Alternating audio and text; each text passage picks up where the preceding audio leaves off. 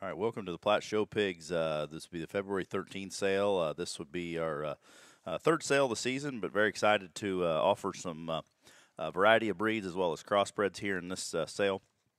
We're going to start with the Duroc male pigs. 105 dash two is going to be lot one right here. The bigger bear we're on. He's an Ivy League back on a Modelo Mac- Maximus. that mother is actually owned with the Hartzell family. Uh, she would be an Olsen gilt that they showed last winter that got along extremely well. This would be her first litter, and uh, she looks like one that's going to be a true generator for darn sure. Modelo would go back to that green bottle stuff, and uh, this uh, uh, this is a good litter. There's this male pig as well as two other gilts here coming up later on here in this offering. this pig here is probably one of the bigger ones in the group.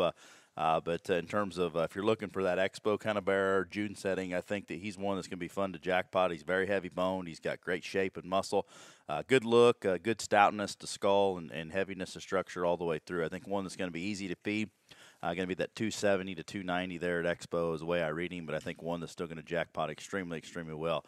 Uh, heavy bone kind of a hog, I think that's going to stay together and still keep enough kind of a look, uh, but still stout and burly enough in his type and kind. That'd be lot one, 105 liter. Next one's going to be the uh, uh, 108-1.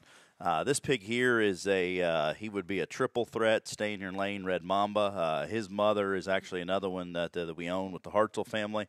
Uh, she sold in the all-in bred gilt sale. Uh, Trace Amigos actually sold this gilt. Uh, Hagee bought her young.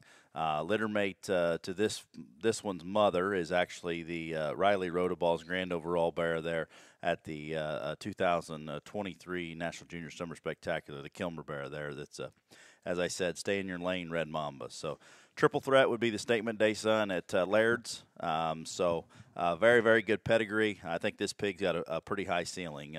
he's he's one that I think stretches into uh, July without any kind of question. It looks like a June July setting. Uh, great feature, great bone work, uh, angles good, uh, heaviness of structure, and still maintains some shape and muscle. Uh, the right kind of red one. Uh, enough muscle, enough of everything with some of those extras, and still great looking. Uh, dense in his skeleton, good proportions, uh, great on his feet and legs. I think this uh, this bear here uh, needs to be on your needs to be on your checklist if you're wanting to uh, find one uh, that's going to last all summer long. I like this 10, 108 one quite a bit here in lot two.